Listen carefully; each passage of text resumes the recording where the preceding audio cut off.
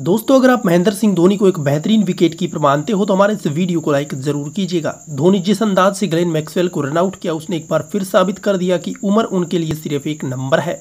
ये runout RCB की पारी के नौवे ओवर में देखने को मिला, जब रविंद्र जडेजा के आखिरी गेंद पर माही की चीते जैसी फुर्ती देखने को मिली।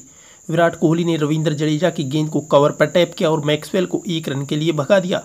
हालाँकि रोबिन उथप्पा ने भी बढ़ती उम्र को खुद पर हावी नहीं होने दिया और फुर्ती दिखाते हुए जल्दी से गेंद को पकड़ा और उसे माही तक पहुँचा दिया। लेकिन इसके बाद धोनी ने जो बिजली जैसी तेज़ी दिखाई, उसे देखकर ये बिल्कुल भी नहीं लगा कि वो चालीस को पार कर गए हैं।